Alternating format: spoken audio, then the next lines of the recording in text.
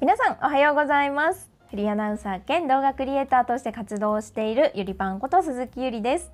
現在フリーランスで公営競技のキャスターや情報番組のリポーター。またイベント司会に動画編集動画制作の受注などをして活動しています。その傍ら自分自身が好きなこと得意なことを生かして仕事にしてきた経験から夢かなコンサルタントという肩書きでの活動もしています、まあ、これから好きなこと得意なことを生かして仕事をしたいという方たちを後押ししたいと思って、まあ、そういう形の活動をしております。このゆりパンの夢かなラジオはフリーランスという働き方に興味がある方や好きなこと得意なことを生かして仕事をしたいというふうに考えている方に私のこれまでの経験や日々感じていることを伝えることで、まあ、少しでも夢を叶えるためのヒントがお届けできたらなと思って更新をしています。毎週金曜日朝7時に更新をしております。YouTube 上での公開なんですが基本的に耳だけで楽しめるコンテンツとしてラジオという名前を付けてますのでよかったら隙間時間にお付き合いいただけたらと思います。さて、えーこの夢かなラジオ2022年から毎月決まったテーマについてあのお話をしてるんですけれども2022年2月のテーマはズバリ人間関係ということで前回の放送でお伝えしていました、まあ、早速今回はその人間関係を良くするためのポイントその1ということでお話をしたいと思います。でそのね1つ目のポイント何かっていうとズバリ助けてをちゃんと言うことですね。はい、あの前回の放送でも話したように私自身はどちらかっていうと人間関係の構築ってすごく苦手な方なんですよね。もうどちらかっていうと本当に苦手分野なんですけれどもまあそんな過去ね私が人間関係でいろんな失敗とかトラブルとかがあったので、まあ、その失敗をもとにお話をしたいと思ってるんですけれどもあの、まあ、そもそもちょっと聞きたいのが皆さんって普段困った時とかって素直に人に助けてっていう風に協力をお願いできるタイプでしょうか？あのねこれにイエスって答えられる人は正直今日のラジオ別にそんな聞く必要ないかなっていうふうに思うんですけどあの私はね実は本当もともと人のことを頼ったりとか人に助けてっていうのがものすごく苦手なタイプの人間なんですよね。まあ、仕事に限らずなんですけどもうそれこそ部活とか友達関係とかでも何か困ったことがあってすっごく悩んでるのにもうなんか爆発する寸前まで誰にも相談できないみたいなことっていうのがこれまで本当にあってそうなんか同じ部活やってた子とかにもなんでいつもそんなに溜め込むのみたいなあのもっとなんか助けてほしい時なんか小出しにね助けてって言ってくれればもっと早い段階で助けられたのになんでいつもギリギリになるまで1人で溜め込んでるのみたいに 言われることがすごくあってもともとね本当にすごくね人を頼ることが苦手なタイプの人間なんですよね。なんか人のことを頼るとか人に助けを求めるっていうのってこう自分で頑張ってないっていう風に自分で頑張ってないことだっていう風になんか変な見方を私ってすごくしてしまうところがあるんですよね。えそれぐらい自分の力で頑張りなよみたいななんか人にわざわざ助けてとか手伝ってとかって言ってその人の手を煩わせることとかするのは迷惑だみたいな風にすごく思ってたのでだからなんか自分がちょっと困ってるとかちょっと大変だとかって思っててもそんな簡単に人に助けてとか言っちゃいけないなっていうなんかそもそもの固定観念みたいなのが私すごく強いタイプだったんですよね。で本当ねその仕事に関してはそのケーブルテレビに入社した時とかに本当にすごく苦労したんですよね、まあ、ケーブルテレビに私中途採用だったのでケーブルテレビに入社したのって11月とかだったんですけどまあ、そのケーブルテレビに私がそのアナウンサーとしてねキャリアをスタートさせたテレビ局だったんですけどそのケーブルテレビに入った時って、まあ、新入社員でもう右も左も何にもわからないその中途採用とはいえ放送業界がそもそも未経験で採用してもらってたからまあ、でそのケーブルテレビの仕事の流れとかっていうのまだ全然分かってないし何していいかも分からなかったんですよね。でだったら先輩とかに「すいません私ちょっと何や何からやっていいか分からないんでちょっとこれ教えてもらえませんか?」とかって聞けばよかったのになんかこう先輩たちが忙しそうにしてるのを見てあなんか今私が何やったらいいんですか？とかって聞いたら自分で考えろって言われるんじゃないかなとかそんなこともわからないで仕事やってるの？とかって思われるんじゃないかなとかって思ってなんか本当に何にも言えなかったんですよ。今思えばあの放送業界とかも未経験で新人として入ってきたら普通に何やっていいか分かんないのなんて当たり前だしそういう人からその私何やったらいいですか？って聞かれたところで嫌な顔する先輩って多分いないと思うんですよね。で私が先輩の立場でも絶対そうだと思うし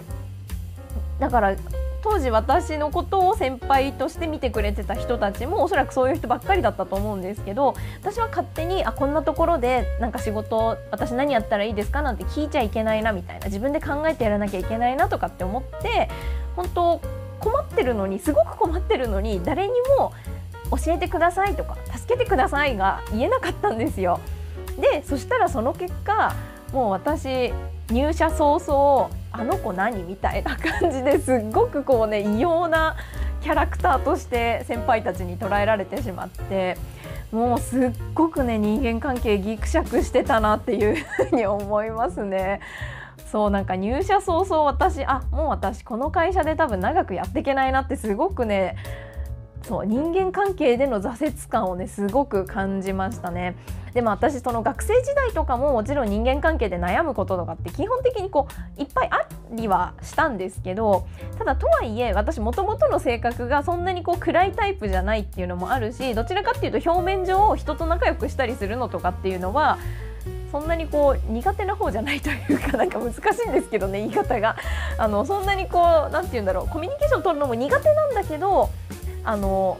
多分周りからはあんまりそう見られないタイプっていうのがあってそこまでああ私ここでの人間関係無理かもってそこまで悩むことってあんまりなかったんですよ。個人的にその何か一人で抱え込んで周りからもっとなんかたすなんか頼りなよみたいな人を頼りなよって言われることとかはあっても基本まあそのコミュニティの中ではそこそこうまくやっていけるタイプだったのでそのケーブルテレビに入ってて初めて私そのあ私人間関係ちょっとここでは無理なのかもっていう風にものすごい挫折感を覚えたんですよね。そうでだからそんな風に人に素直に助けてが言えなかったからものすごく周りからも「あの子結局何何してんの?」みたいななんか鈴木ちゃん入ってきたばっかりなのになんかその仕事もねなんかやってんだかやってないんだか分かんないし何なのあの子みたいな感じですごくこう先輩たちにも思われてたみたいでそれを感じちゃうからまた私もどんどんなんかこの会社居づらいみたいななんかコミュニケーション取りづらいみたいな風に思ってすごくこうねそこで先輩たちと私の間でなんか溝ができてっちゃったなっていう風に今振り返って思いますね。そうでまあとはいえね私もだんだんその後気づいてったわけですよ。あこれ私が自分一人でこれでいいんだって思ってやってるから先輩たちも何あの子って思ってるんだっていうのにどっかのタイミングで気づいてそこから私ものすっごく先輩たちに頼るようになったんですよ。もうなんか極端な話言えば別にわざわざ聞くまでもないことまでわざわざ聞いたりとかしてたんですよね。例えばなんか取材に行く前になんかなんて言うんだろうな取材に行く前にえーと、取材で聞こうと思ってることとかねインタビューで聞こうと思ってる内容のこととかもうある程度こうその取材って言ってもさ決まってる方があるからそれ通りの質問書いとけばまあなんとかなるみたいなことが多かったんですけどだけどあえてそれも聞こうって思って「すいません」って言って今日私こういう取材取材に行くんですけどインタビュー内容これとこれとこれでいいと思いますか？みたいな。他になんかどういう質問を言ったらいいと思いますか？みたいなね。話とかをもうわざわざ取材前に毎回先輩に聞きに行くようにしてたんですよ。でまあ内心、まあ、自分自身もこう勉強してねいろいろ何を聞いたらいいとか分かってたんだけどあえてそれでも聞きに行く。っていうことをしてたんですよ。そしたら、まあ、私はねその前はそうやって人に頼ったりとか人に助けてっていうのはもう自分勝手自分のことしか考えてなくてなんか相手の手を煩わせることを平気でやる自己中だっていうふうに思ってたんだけど私がいざ助けてって言ったら先輩たちみんなすっごい優しく教えてくれたんですよ。でむしろなんか私が毎回「すいませんこれわかんないんですけど」とか「これ教えてください」みたいな「これでいいですかねちょっと不安で」みたいなこと言ったら「どれどれ」みたいな感じで本当に親身になって話を聞いてくださったんですよね。だからなんかそこから私やっぱ先輩たちとのなんか関係性もすごく良くなっていったなっていうふうに思うし多分先輩たちから見てもなんか最初の頃よりも鈴木ちゃんなんか絡みやすくなったよねじゃないけどそういう風に思われてたんじゃないかなっていう風に思いますそうだからね今思えば当たり前なのに当時はねなんかこう自分一人で頑張ることが偉いとか自分一人の力でやるのが美しいんだみたいななんか変な勘違いをしてたのでそう人に助けを求めることってすごく大切だなっていうふうに思いました。なのであのすいませんもうそんなの当たり前にできてるよっていう人にとっては何の気づきも発見もない話だったと思うんですけれども私がその人間関係を良くする上で大切なポイントの1つ目ということで「まあ、助けて」を言う伝えること。っていうふうにお話しさせていただきました。皆さんいかがでしたでしょうか？もうほんとしょうもない話で申し訳ないんですけれども。また、えー、来週はそのに良い人間関係を作るためのポイント2つ目についてお話ししていきますのでよかったら引き続きお付き合いいただけると嬉しいです。さあそれではここまでフリーアナウンサー兼動画クリエイターの鈴木ゆりゆりパンがお伝えしました。ありがとうございました。また次回の放送でお会いしましょう。